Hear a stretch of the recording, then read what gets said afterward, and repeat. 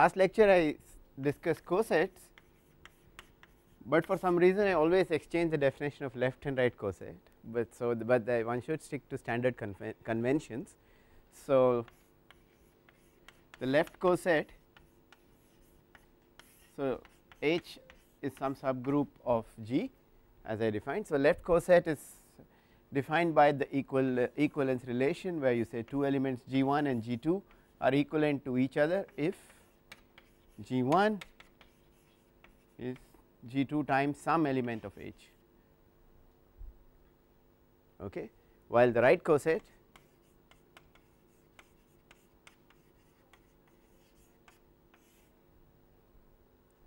is again an equivalence relation, but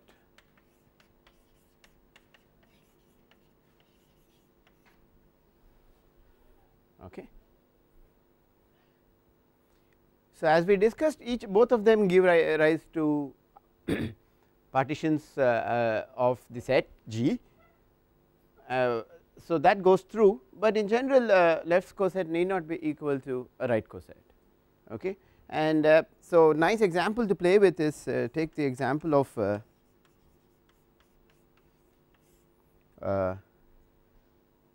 Z 4. So, so let us take that to be given by the set of uh, the following 4 elements 0, 1, 2, 3 the set. So, G is this and the operation is just addition mod 4 just giving you a realization and let H be the subgroup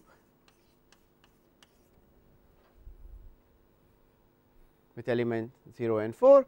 I leave it as an ex exercise for you to rather than example actually what I mean is I want you to work out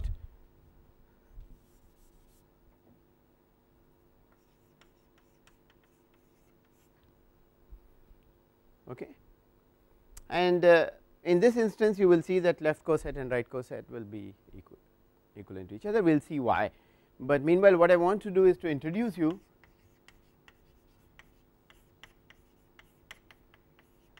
to one of the most important uh, finite groups called the permutation group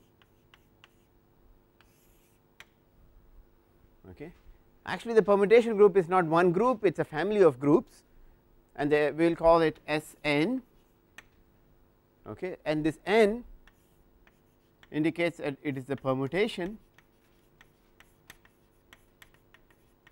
in n objects.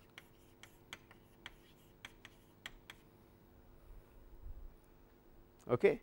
So, I will describe it through a see uh, through its operations rather than uh, give you a giving you a list of elements and uh, an order of S n will be n factorial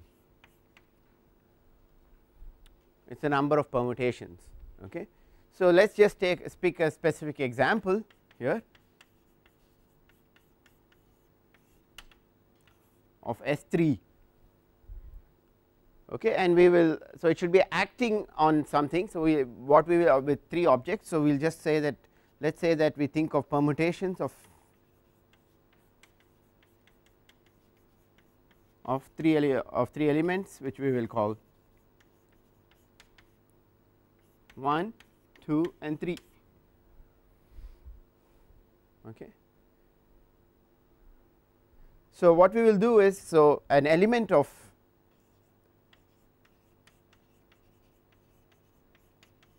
of S3 I will write in a is given by something like for instance say 1 goes to say 2, 2 goes to 1 and 3 is invariant. So, this operation you can see is uh, is just the exchange of 1 and 2. Okay. So, let us just call this element we will call it G 1. Let us write another element let us call it G 2 and this time I am going to choose something where 1 goes to 2, 2 goes to 3, 3 goes to 1. This is what is called a cyclic permutation. Okay. So, now let us uh, see how this group is and let us do the composition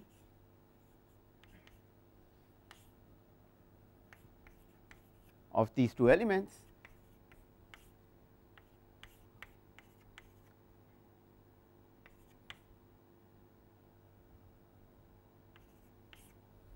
Okay? And the this way of writing things is very makes life uh, easy in the following sense. I can do the composition by just tracking things. So, 1 goes to 2 and then I come here 2 goes to 3. So, 1 goes to 3 okay next 2 goes to 1 then come follow it up 1 goes to 2. So, I started with 2 and ended up with 2 and then 3 goes to 3 here, but 3 goes to 1. We can do the other order as well.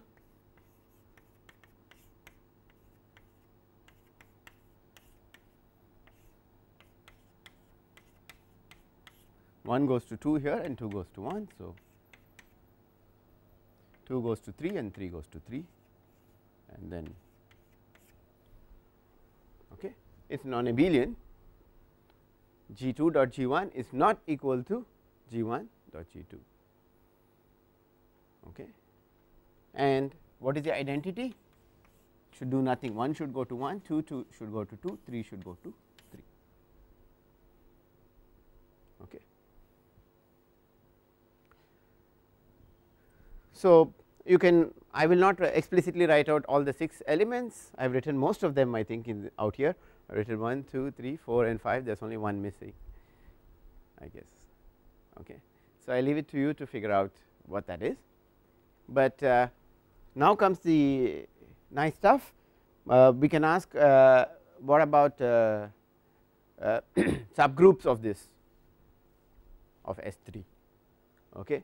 So, obvious subgroups are uh, see take an element like this it is 1 2 exchange and uh, uh, so it is uh, so if you operate it 2 times it does nothing okay. So, we will call this sort of an operation we will call this an elementary exchange.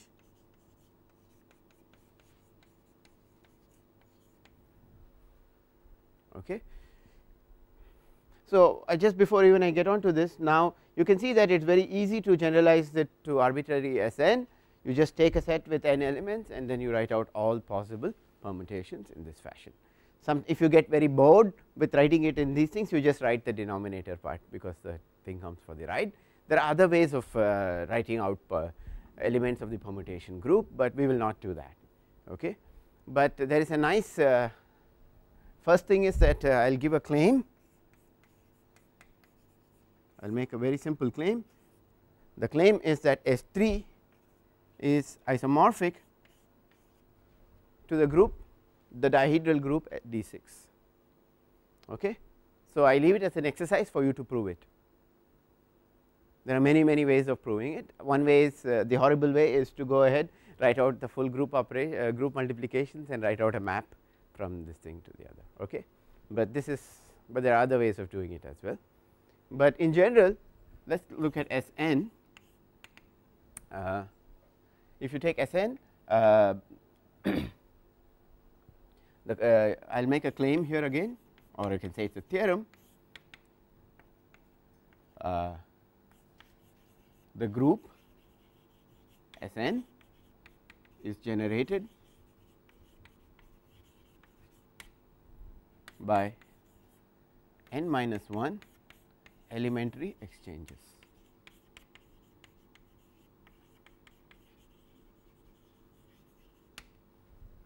Okay, so, let me show you what I mean by that.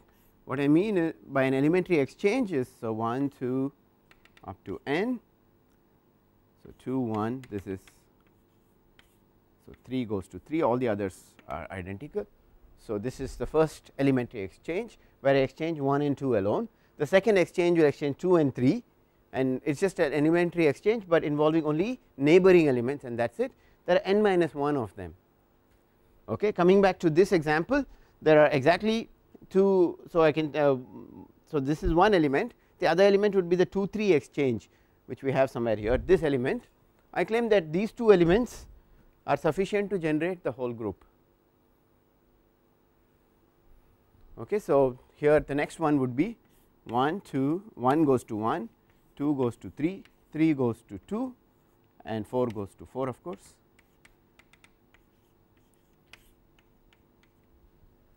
You can rewrite write out n minus 1 element. So, this is uh, intuitively you can see this, but in general you can work this out. Okay. Now, so uh, assuming this claim is true, what this tells you is that any group element by group I mean a group element can be written as a product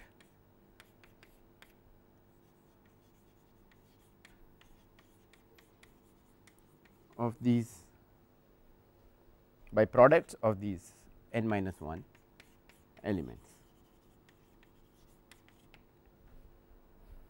Okay. Now, the thing is that we will call a permutation an element a permutation element even if it is made up by composing uh, even number of these guys. Okay. So, a permutation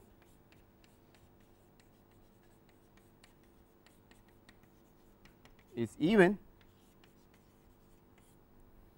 if it can be written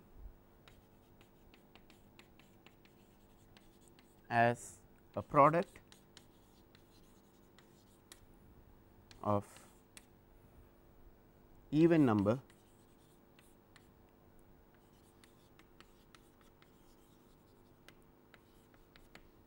of elementary exchanges.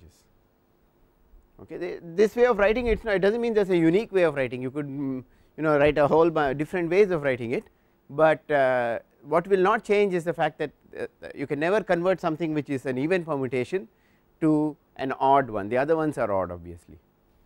Okay. And so, let us see uh, uh, so an example of uh, an odd permutation is of course the elementary operations. They involve only one, but you take this G 2 now, this can be obtained. Uh, this is an this is an example of an even permutation and the way to see that is that uh, the way you can do this is to first you take 1 2 exchange you get this and then follow it up with a 2 3 the second and third exchange then you will come to this. So, it is an even permutation. Now comes the nice part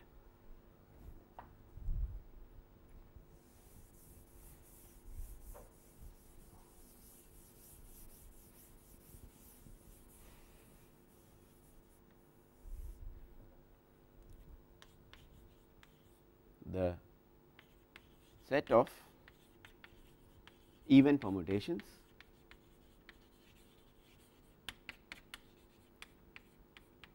is a subgroup of order subgroup of Sn. What will be its order?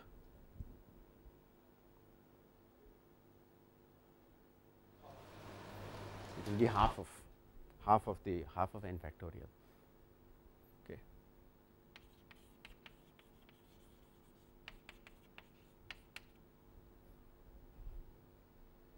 Okay, and this group has a name we just call it A n.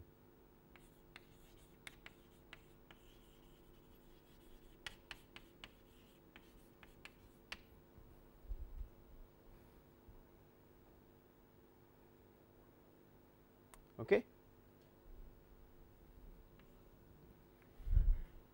So, are there any questions so far because we have been just de defining things. Now, we will uh, will see in many ways that uh, uh, the, every group any finite group can be embedded into the permutation group. So, this is a very nice thing and it gives you a very what is called a permutation representation of the group. So, so here is a nice theorem any group any finite group G can be written can be yeah, written I do not know. The bad bad English, but okay written as a subgroup of the permutation group group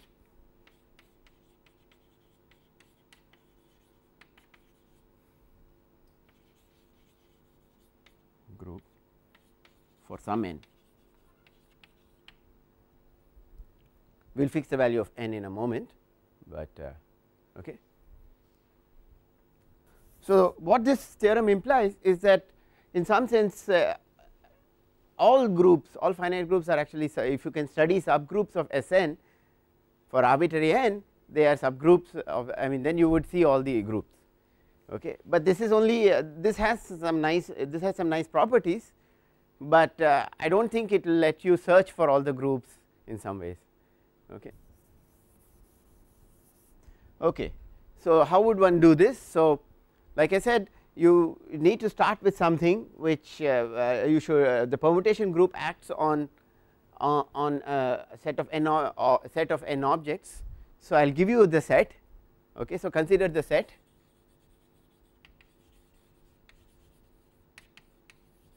G and let us say that G S capital N elements. So, now what I need to do is to for now we need to give a map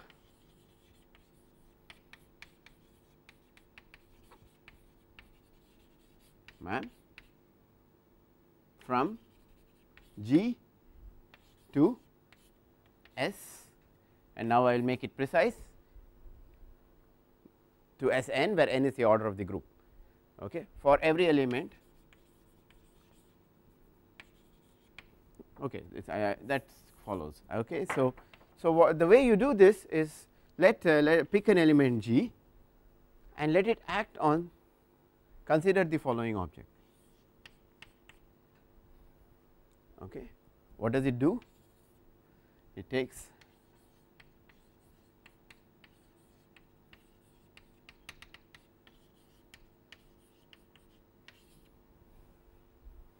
okay? So now what is happening out here is G is acting on G1 it will give you because it is a it's it's an element of the same group it will give you another group element. Similarly you can you will generate all the other group elements. You can convince yourself that it has to be only a permutation of this group. Okay? So now I will write out the permutation. So it would be so so let's uh, let's let me just uh, use some notation out here. Let's say that this we will call G of P1 we will call this G of P2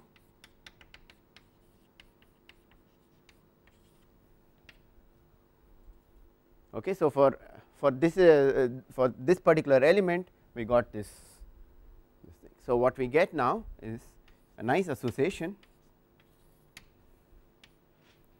1 2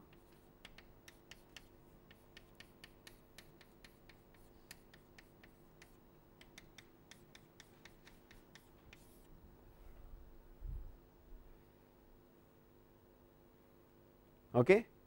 Now, you need to check that it, uh, it, it, is consistent with the composition of the group, but you can go back to the original definition and you take two elements and you will see that the answer will work out. So, I leave that as an exercise. Okay. So, there is another way of uh, writing these you could write this you can think of 1 2 3 to n. So, you can also write this as an n by n matrix which is the following which so yeah. So, what is it?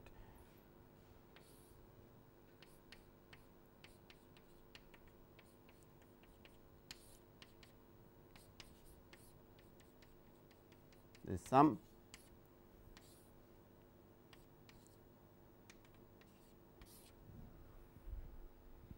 okay. Now, this this will be some matrix which will have only ones and zeros in its entries it is a very simple matrix because 1 goes to P1. So, you go to the first row wherever at the P1th element you put 1 the rest of the first row would be 0. 0 second row would have only the P2th element equal to 1 third row would be this way that way you will see that you get a nice matrix okay so this so this is called so now the, this fits in with what we had earlier if you remember we said that if you give me any matrix which uh, which satisfies the group multiplication law that is like a representation So, this has a name this is called the permutation representation.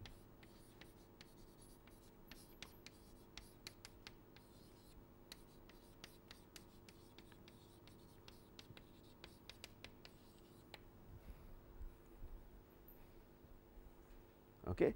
So, if you yeah it is a group yeah, but uh, I am thinking of the yeah it is also a set it is also a group. So, so this is the uh, this is a set on which G is acting. So, uh, it has a dual role absolutely right it right now this uh, here this is just a set of n elements with some ordering it does not matter what ordering you choose you choose some order and leave it at that. So, here I am just thinking of it as a set with elements written in some order, but of course, when I come to this part I am doing the composition within the group. Okay, is this clear? Are there any other questions? It is a very good question. So, let us take S3 which is already a permutation group, but uh, uh, so but for it uh, the order is 6. So, this process will uh, will give you an embedding or a representation of S3 in terms of 6 by 6 matrices which is much larger than in fact much larger than 3 okay. So obviously it, if you are given a group this method of writing it not give you the largest uh, will not give you the the it will not give you the sort of the minimal embedding into S whatever is the group, but it will give you some it will give you something. But this uh, this uh, this particular representation has lots of nice properties which one would do in any course on finite groups, but this is not such a course. This is just to show you that these objects exist. And uh, and there is also going back to the full set of permutation groups what you have is the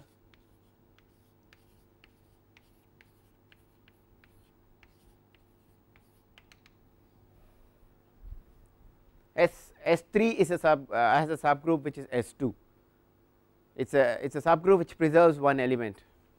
Subgroup of permutations which preserves one element. And of course if you start this way there are three different ways of uh, there are three different S2s that you could get this way. Similarly out here if you start from here there are 4 different S3s you could get out here okay similarly S4 you can get 5 different ways S6 so on so forth that is an infinite sequence. S6 has uh, a slightly different properties which I will not uh, uh, which leads to some very nice constructions, but uh, uh, but from this viewpoint it is just that out here there are just 5 S5s you could get into this, but it turns out there are 5 others which you cannot see in this manner it is called an outer automorphism it has an outer automorphism okay. So this is like a full sequence which you have and you can see that any group can sit inside this. So, now the point here is to ask uh, uh, questions about subgroups and so there is a nice idea called the normal subgroup which is related to the, uh, the coset this state this can be obtained as, as follows. When is a coset a group?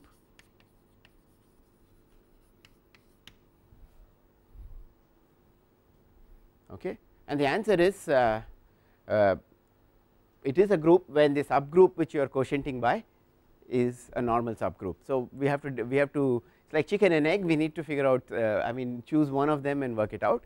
So, we will ask this question and that will tell us the answer to the definition of this. So, let us uh, let me remind you of this definition. So, let us stick to left cosets. So, G this symbol is the equivalence class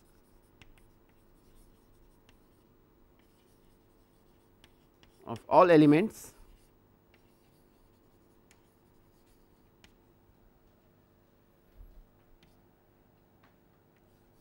which you can write as G H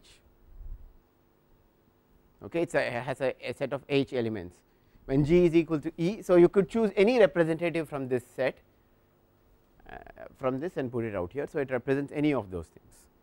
Okay. So, a generic element of this would be something g times little h. So, the question is suppose you are given two different elements g 1 and the question is does this sort of can I make something like this work?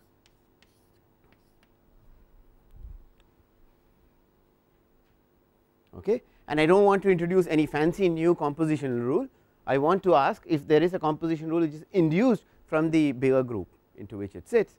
So, a generic element here would be writable as say G 1 dot H 1 a generic element here could be written as G 2 dot H 2 and let us just write this one would be G 1 G 2 with some H 3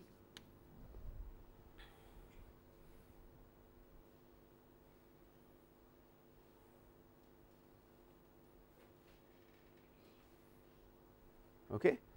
So, so now you can see here is that what you want really is if G2 need not uh, G, G2 need not commute with H2 what you need is something very weak. What you need is G2 what you need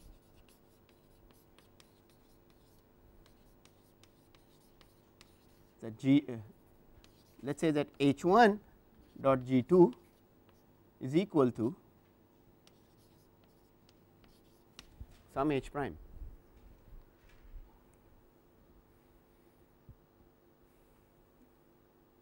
Okay. Then you can where h prime is of course an element in h. So, again we will stick to this notation. Okay. So, if this is true this will follow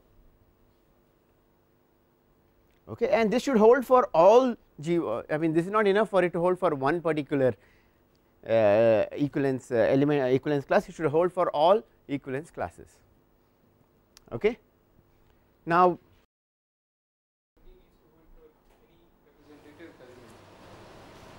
within an equivalence class.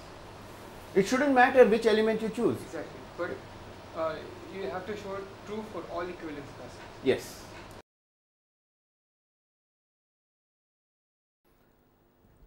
So you can see out here this is the what we uh, this is the kind of thing which we would have used uh, which we used in the definition of the left coset while this is for the right coset. So, roughly it tells you intuitively left coset should be equal to right coset this should be true for all G 2 is this clear okay. So, so the condition can be written as follows so um, So, let me box this out. So, we need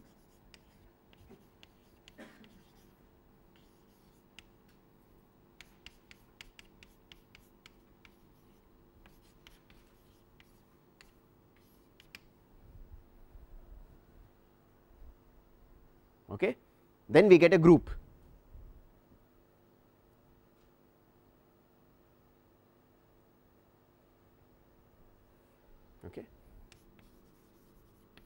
then we get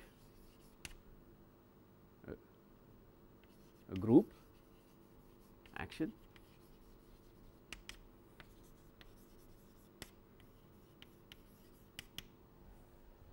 on the coset which we can write as follows.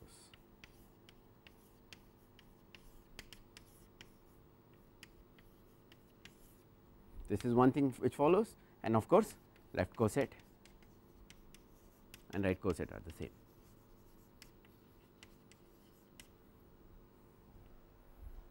Okay. First thing to note is that if G is abelian okay, then there is nothing everything goes through okay, there is nothing to check. Okay. So, so now we can see that corollary or whatever all subgroups of abelian groups are normal.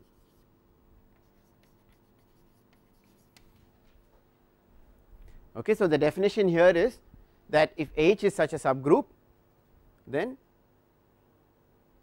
okay, it satisfies that property we call it a normal subgroup. Okay. One dot G2 is an element of H, say just a H prime. Then that means G2 would be in the university will be in the equivalence class of the identity.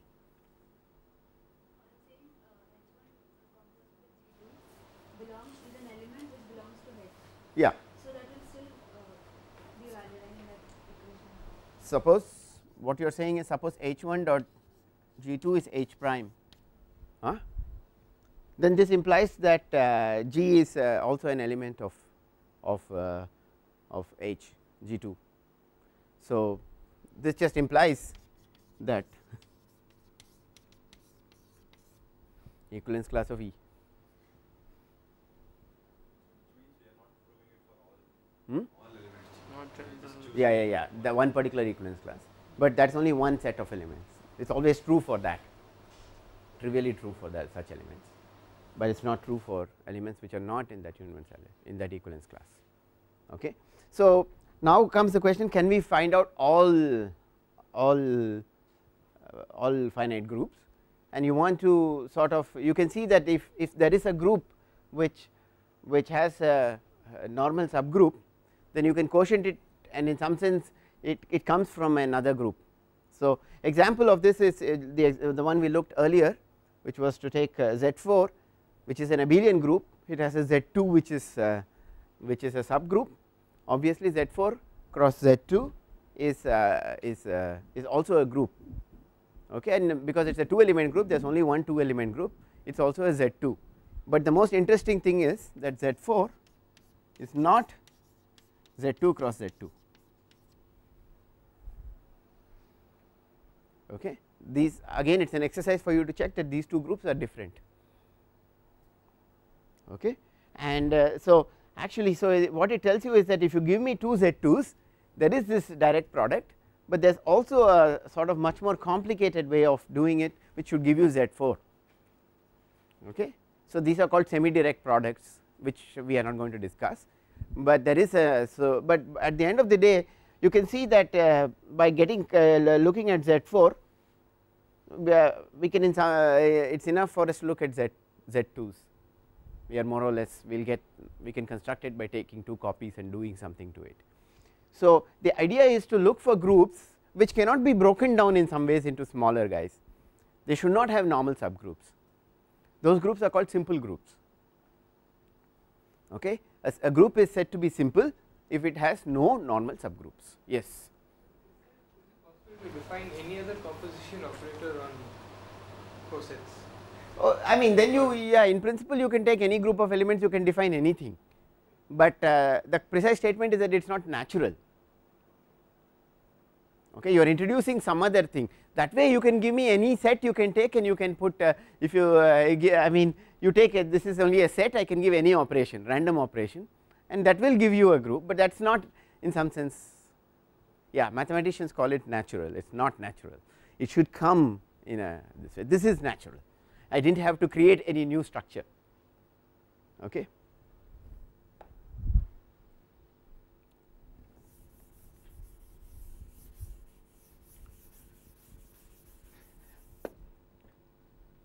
So, a simple group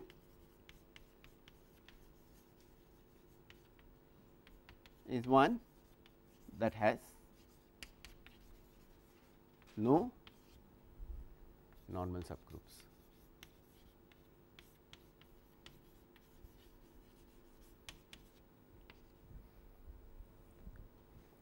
And uh, so, the idea in looking at this is in some sense these are the simplest objects. Uh, you cannot deconstruct it into something uh, into smaller parts. That is what it means. Okay. So the question is so let us look for examples of these guys. Okay. So examples.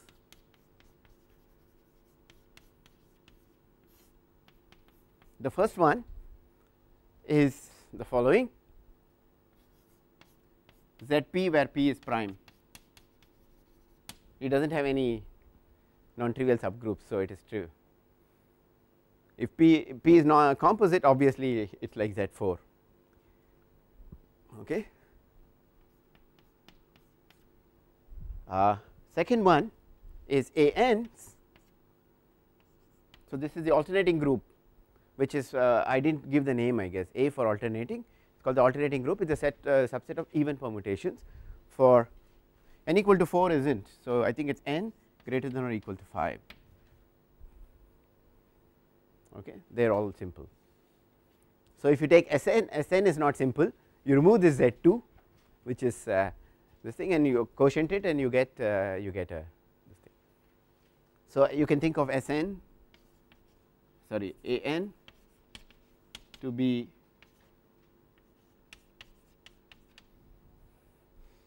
and this is an easy way to see that the dimension of an should be half n factorial. Okay. Now come there is a much more complicated set which uh, which are associated with uh, what we will call Lie groups. I will explain these terms Lie groups with uh, value with uh, Lie groups with uh, elements in the finite fields.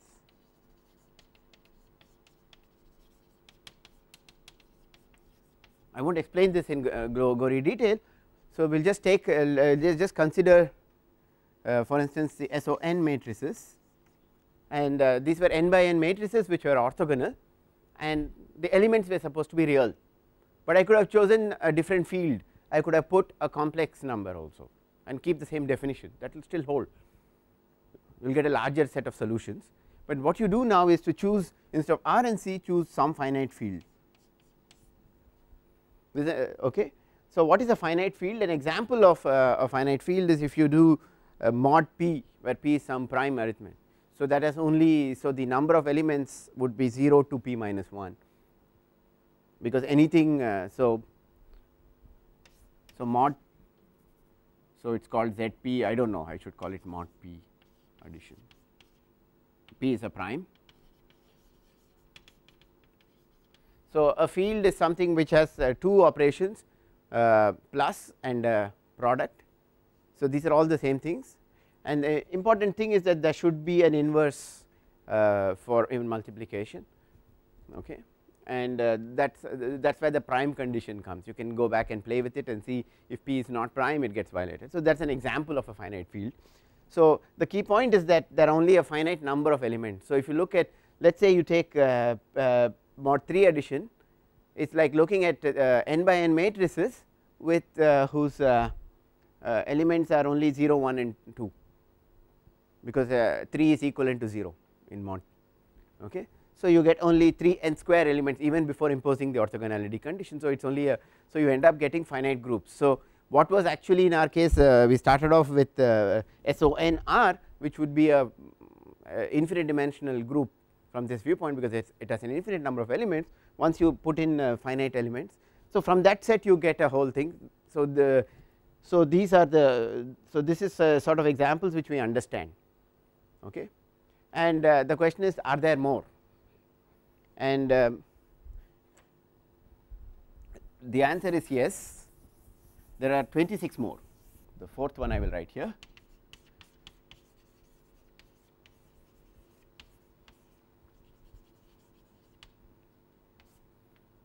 More simple groups. And they are called sporadic groups.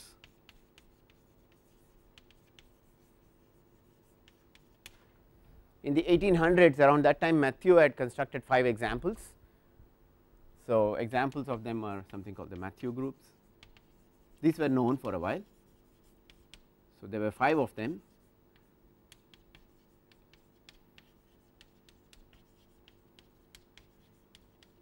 The symbols they mean something, but uh, here the one thing you can think of it as follows these 12, 22 etc., indicate that there are some subgroups of uh, the corresponding S so, M 24 is a subgroup of S 24 for instance. Okay. But uh, this was uh, and people did not know too many examples and they thought maybe this was it and the, there was a classification on on classifying all simple groups. And uh, so this this involved lots of people thousands and thousands of pages of uh, uh, calculations etc. and uh, they found in the process they found several more examples and the largest uh, of this 26 is uh, is called the monster it was found by Fischer I guess and Griess is called the monster group. It has about 10 power 53 elements.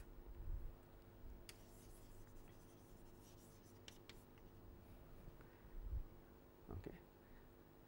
I do not know it is something like the number of uh, atoms or whatever in Jupiter or something like that it is that big. But the amazing thing is that the classification actually found these things. So, and uh, I, I, there is actually a beautiful book by forgotten the name by Mark Ronan you can check it on Amazon or something like that where he actually discusses the history of how people found these groups etc. Actually it was a period of 10 years I think 1960s to 1970s where actually all these things were found these various groups were found in bits and pieces by different people and the and the convention usually is to name it after the person who found the group. okay so there is something called Conway uh, called CO1 CO2 so on and so forth then there is the Janko groups Janko found them etc.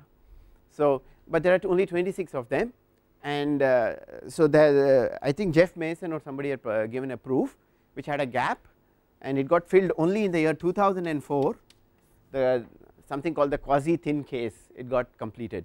So, in around 2004 a couple of people I think uh, proved that uh, they filled the last gap. And uh, so now it is generally accepted that this is it. These are the only groups the ones which I have written. These I have this I have been a little bit loose, but uh, Wikipedia has a nice entry where they write out in more detail what these various groups are. These two are easy to state, but the amazing thing is that is all. There is no more. Okay. And uh, the, uh, the key point here is 10 to the power of 53 is large, but at the end of the day it is still a finite number. So, it is still a finite group okay. So, and uh, now people are in the process of uh, trying to write what is called the second generation proof of, uh, of the classification. So, that uh, because it was done in bits and pieces and apparently so far now 6 volumes have been written and there are still it is still going on, but for us we believe this and it is sort of an exercise amazing exercise done by uh, by mathematicians groups of mathematicians. So, this is all I have to say about finite groups, but I should point out that finite groups will come I mean we, uh, even in physics there will be situations where you would come across finite groups. For instance, if you are looking at uh, uh, finite or at least discrete groups. Uh, so, if you take uh, uh, if you take a crystal crystal for instance. Uh, so, there uh, in a crystal your translation is broken to uh, just lattice steps. Okay. So, in a crystal set of lattice translations form a group. And uh, of course, if you look at point symmetries, if you pick fix a point and then you start looking at it, you get things like the dihedral group. So, you get things like dihedral, trihedral groups. You get from this. Okay? Yeah.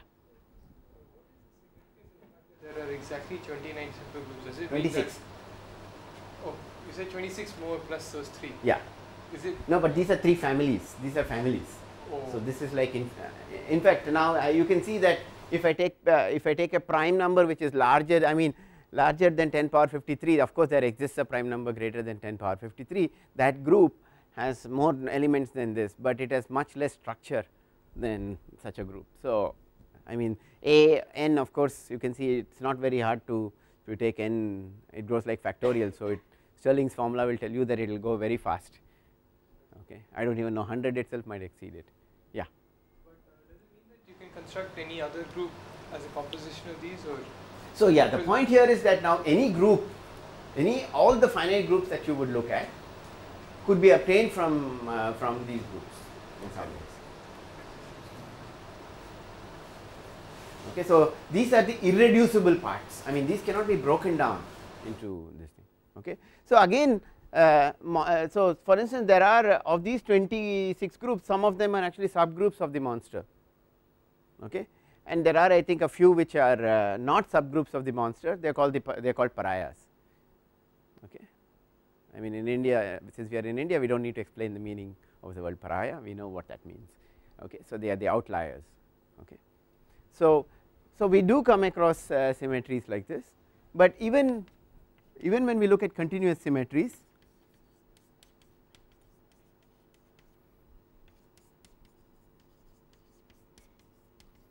we saw we saw for instance when we looked at the orthogonal group there was a Z2 which came out which was like parity. Okay? And what we will see later is that if you when we are looking at what are called Lie groups such as you know SUN ON uh, these are just examples. Okay? You can look at what is called their Weyl group they, they have something called a Weyl group. For instance the reason I chose SUN is because its Weyl group is SN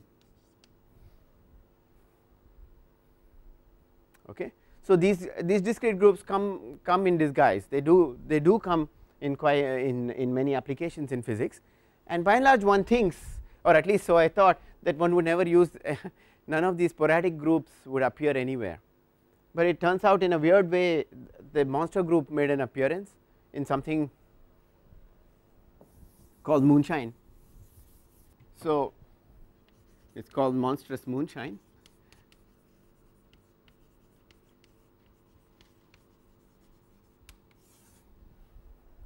So, mathematicians are very specialized people they each person does their own thing and they are experts in that and they do not quite often look at things which are in other areas, but they do and when they do interesting things happen.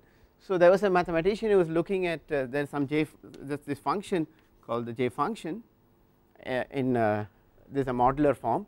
So, this is a bunch of people who do look at modular forms, but uh, why would a guy looking at who does group theory look at this in general there was no reason to look at it. So, this has a expansion. So, q it has a Fourier expansion. So, q is some e power i pi tau. There is some expansion which is 1 over q plus some constant plus uh, then came the number. I do not even remember the number now. Some 17884 or something like that. I am not sure. Q plus so on so forth. And uh, this number he looked at it and this uh, uh look uh, this the smallest matrix representation of this monster group was exactly 1 less than this number then he looked at the next term as well okay? And uh, that also broke up into two representation uh, broke up into representations of the monster. So, uh, out of the blue I mean this is some vague function in some other part of uh, of, uh, of mathematics and this is in group theory. And uh, the question is how are these two related? And the amazing story is that yes they get related in a very beautiful way. And in fact this whole series every term in that has something to do with the monster group. And uh, so this so this was an observation due to McKay and uh, who sent his observation to one of these very important names in the classification of finite groups Thompson. And Thompson actually verified that it actually worked a little bit more. And uh, so this led to a beautiful uh, uh, construction but now comes the neat stuff that uh, this actually this function also appears in string theory. So, it is the partition function. So, this is the partition function or the what is called the chiral partition function of the bosonic string.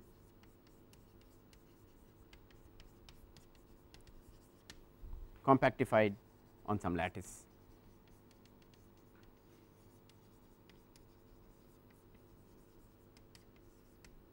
Some 24 dimensional lattice called the Leech lattice.